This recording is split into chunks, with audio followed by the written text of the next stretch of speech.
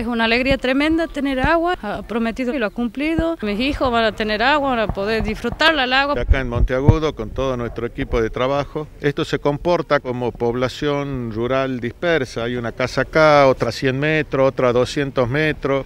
Y bueno, y uno de los grandes temas tenía que ver con lo que era la provisión del agua potable. Finalmente, para estas 15 familias ya la tienen en sus casas y bueno, y ahora queda ya todo lo que son las conexiones internas. Este es el interior profundo de que tantas veces se habla y pocas veces se atiende. Vecinos de Monteagudo hoy gracias a Dios ya tienen el agua potable. Y no hay duda que con el gobernador Juan Mansur recorremos a lo largo y a lo ancho la provincia, pero nunca con las manos vacías. Vamos a venir dentro de un tiempo no muy lejano también para hablar que hemos dejado puesto la energía eléctrica para todos los vecinos de esta jurisdicción. A través de nuestro gobernador y nuestro vice que nos colaboró y nos atiende y nos escucha atentamente a cada uno de nuestros pedidos, estamos recibiendo la colaboración que necesitamos para que estas familias puedan contar con el agua potable. Felicitar al comisionado comunal de Monteagudo, Alberto Elía, a él y a todo su equipo por este gran gesto, por esta gran obra, trabajando al lado de la gente. Nos llevamos otro trabajo para la casa, que si bien hay una conexión eléctrica, digamos, falta potencia y falta hacer las cosas como corresponde. De a poco vamos a seguir avanzando